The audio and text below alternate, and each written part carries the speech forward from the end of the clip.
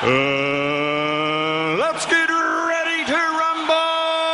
Good morning, this is Minute Motivation and today we're getting ready for a big fight. Many times because of our struggle and us feeling defeated is because we don't take care of the internal struggles that we face on a daily basis. You can't expect to conquer the world when you haven't even conquered you. First, every time you hear that little voice of hate, of doubt or negativity, replace it with a new self-talk. Replace it with something hopeful. Find seven things that you like about yourself and state them to yourself on a daily basis. Secondly, surround yourself with positive affirmations.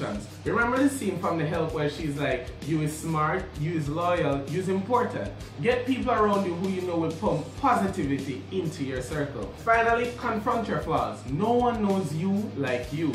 If you wait for someone else to identify the problems that you have, you're just gonna feel small and more insecure about your own flaws. Confront them and you're able to move on and face the world